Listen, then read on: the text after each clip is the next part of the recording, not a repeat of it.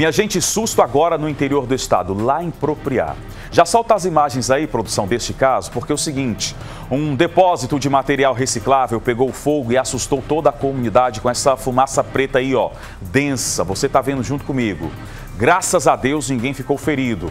O corpo de bombeiros foi acionado e precisou da ajuda de um carro-pipa da prefeitura lá do município para apagar as chamas. Você está vendo aí as imagens passadas pelo WhatsApp 996520105. Meu Deus, e aí muita gente acompanhando, já que é um depósito aí, existia muito material. Agora as imagens. Agora as imagens do momento do fogo. Você está vendo aí junto comigo o momento em que este incêndio atingiu este depósito de material reciclável no interior do estado, lá em Propriá, já na divisa do estado. Você está vendo aí as imagens junto comigo aqui no Balanço Geral Manhã sobre este caso. E atenção, o capitão do Corpo de Bombeiros, o Adriano Vazel, supervisor de operações, conversou com a produção do BG Manhã por telefone. Vamos ouvir.